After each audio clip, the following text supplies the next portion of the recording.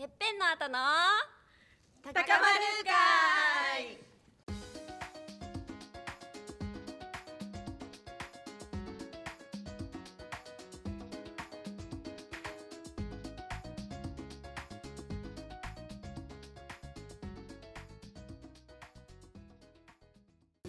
人と会うしかない、あごめん。まあ確かにそうよね、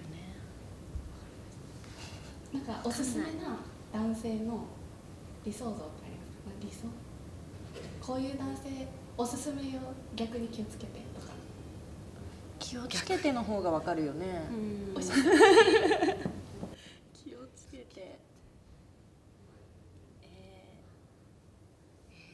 イケメンすぎる。過ぎたらもう疲れるしうん飽きるよねみたいな、飽きるんですあねあなんかイケメンって3日で飽きるっていう。まあ、結構遊び人やっぱ遊ぶかな、うん。イケメンは、うんうん。遊ぶ困ってないから、やっぱちょっとちょいブス雰囲気かっこいいみたいな感じの人の方が幸せにしてもらえる、よくわかんない。なんかこれ見た時旦那さん大丈夫ですか？いや大丈夫旦那さんはイケメンですから。あだから本当におす。すすめな男ではないかもしれないですね。イケメンだからとかじゃないけど、そのわかんないですけどまあいいやまあ言う。え旦那さんと付き合ってる時不安になります？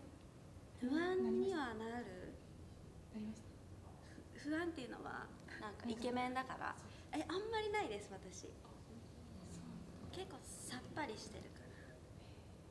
嫉妬とかもしない？最初はして付き合った最初はすると思うけどまあもう10年ぐらい経ってるんでちょっと 感覚が、うん、家族って感じかなそうですお子さんとはもう家族になりますなんか嫉妬してしまいそうなんですよ。なんか付き合ったりとかしたら。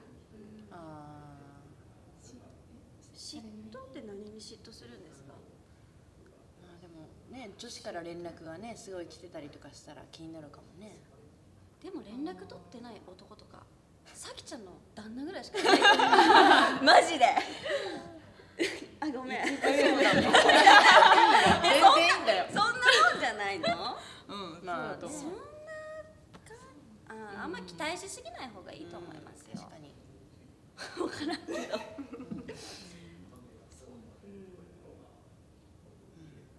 でもなんか私あのこのこういう男の人じゃない方がいいっていうのはあの突発的に大胆な行動をする人とかこう出会ってすぐにそんなこと言うみたいなことを言う人は気をつけた方がいい気はしますね。ですぐに。出会ってすぐにまだ1時間2時間ぐらいしか経ってないのに例えばなんかもうすごい好き好きオーラを出してくる人とかなんか突発的な行動とか言動が多い人とかはね怪しいよね。気をつけてください。勝負服ってありますか皆さん？ない私ない。勝負勝負？服だって勝負するとこに行かないから私持ってないです勝負下着ならある。なんか今日ちょっと打ち合わせが結構大事重要とかあそういう意味のね。あもうこっち二人完璧に。ちょっとちょっと待ちましょう。ちょっとあっちを 最近ちょっと違うそうこれ本当にざっくばらんに話してもらえるんですけど大丈夫かなと思って全然そういうんじゃなかった。ごめん自分を高めるため高めるために、うん。確かにね。ちょっと下着で。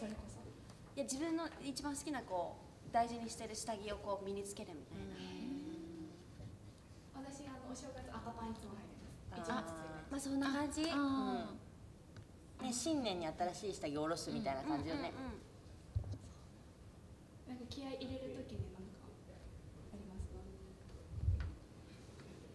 か服。下着？あ下着。下着。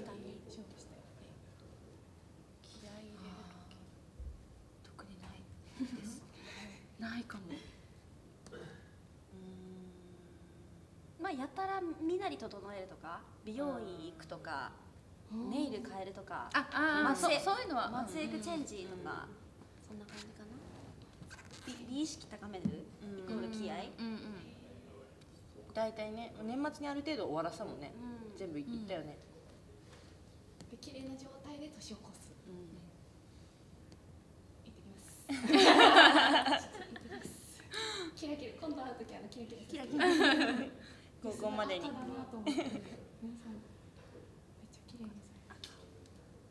紹介してもらったとこに行きました。かなちゃん。上手よね。うん。紹介します。もう全部情報こちらからもう。聞いたらわかるかインフルエンサー。はい。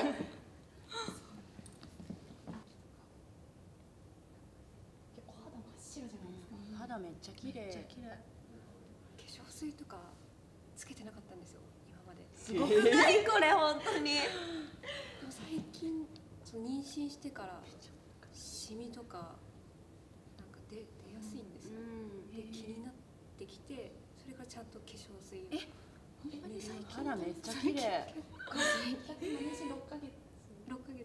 6ヶ月。前までつけてなかった。そんなにつけてなかったです。思い出したようにこう すごくこうみたいな。